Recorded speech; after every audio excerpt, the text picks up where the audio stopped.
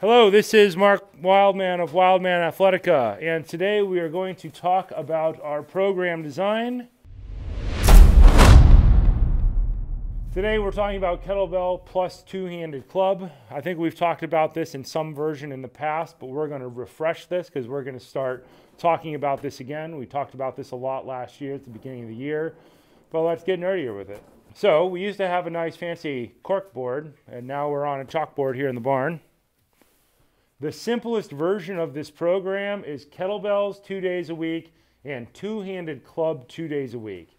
This is like basically a foolproof strategy for improved athleticism very, very quickly in a very simple way. Kettlebell order of operation video we had for the kettlebells. Think about that operating these two days with a heavy day and a light day and a two-handed club day. We had an order of operation video on that as well. Two-handed club runs on levels one to seven of complexity, seven families of movement, though sometimes I like to do eight levels of complexity or eight movements just to really sauce it up. And we have a light and a heavy day. The interesting part about this is heavy, light, light, heavy. Kettlebell heavy, kettlebell light, two-hand club light, two-hand club heavy. That's kind of where the secret for this comes from. When we're trying to run these programs, if you just run a heavy day, heavy day all the time, it tends to beat you up pretty quickly. This is why we would like to have multiple weights. Running a program this way is simpler than running just an all kettlebell program. If you were running an all kettlebell program,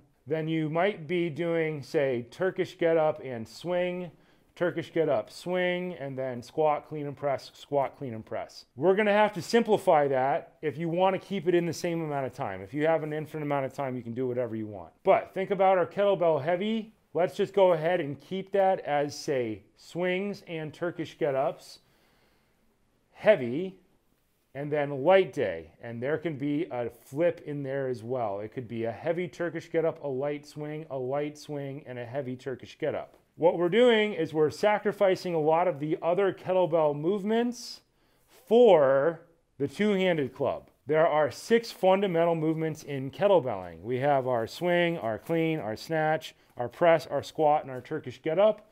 In clubs, we have kind of analogs to a lot of that stuff. It's not a direct analog because clubs are more, well, they're circles. Clubs are circles, whereas kettlebells are curvilinear. So, but we have our seven families movements. We have the squat, we have a clean and press, we have a side swing, we have a lunge, we have a mill pattern, we have a swipe pattern, and we have a get up pattern. So the two-handed club is kind of meant to be almost a perfect form of training by itself. The problem with having any type of perfect form of training is that nothing's ever perfect. The club operates differently than a kettlebell. I like to think of weights in these two categories, kettlebells being a big offset center of mass that's close to your body, a club being a lever. Kettlebells would go in kind of the same family as sandbags or atlas stones and clubs would go in the family of maces and hydrocore. And those are kind of the two general-ish families that we have in training. Uh, also in kettlebell, you could consider that into a barbell category if you really wanted to get crazy with it. But this is the basic layout. You're going to end up sacrificing something in your kettlebell programs in order to do the two-handed club program. It doesn't matter that much. Eventually, if you keep running this program, you'll keep replacing these days back and forth. This does not have to stay a swing and a Turkish get up forever. It could become clean and press and squat on these days. It can become clean and press and deck squat. That's the beauty of these forms of training. The Tetris of training goes on forever. We can replace things and pull them out based on what the program we're writing is for. If we were writing a program for mountaineers, we would choose different things in the kettlebell sections. If we were writing a program for competitive cheerleaders, it would be different. If it was for circus aerialists, it would be different. We would pick our kettlebell days based on what we wanted to accomplish. In that sense, we would leave our two-hand club program alone because it's going to fill in just massive numbers of holes on its own just by leaving that two-hand club program running. On our off days, we would do joint mobility. There are many versions of joint mobility out there. I can think of 10 off the top of my head. Uh, one of my favorite recovery strategies would actually be kinesiology yoga from the Flow Shala Studios run by Summer Huntington. That's probably the best alternate to this program because it's complexity, it's yoga, it's stretching. The kettlebells will be the heavy thing in this program, lifting heavy things twice a week. The two hand club program is also relatively a heavy program but it's a different type of program. It's not straight lines at all. It's all circles. So your body will recover differently from these two things. If I have actors or somebody come into my studio in LA, this is the program that everybody goes on in the beginning.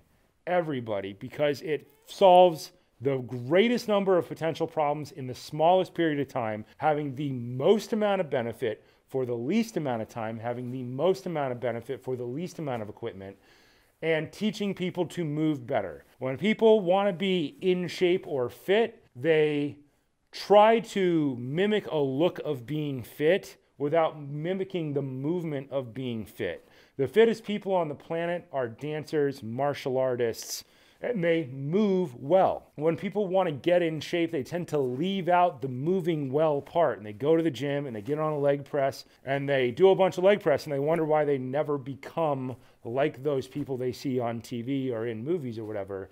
And it's because they never learned to move. We really like this strategy because it teaches people to move very well, very effectively.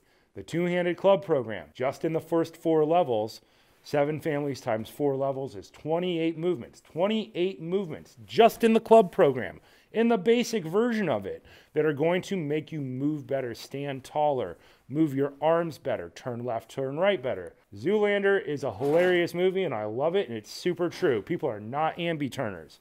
The programs here are designed to make you ambi turners. Kettlebells teach you how to just pick things up. That's amazing that that is needed, but in the modern world, people do not have physical jobs for the most part. There is not a large section of the population that is roofers or construction workers. And even those jobs, as we get more tools, become more automated. Roofers are not putting down 20,000 nails a day anymore and swinging a hammer 20,000 times or walking 90 pound bales of shingles up onto the roof anymore. An elevator comes and brings all that up. They have a nail gun and they shoot it a lot of the basic movements that humans are supposed to do, that we're supposed to be really good at, that make us really human, have been automated out of existence.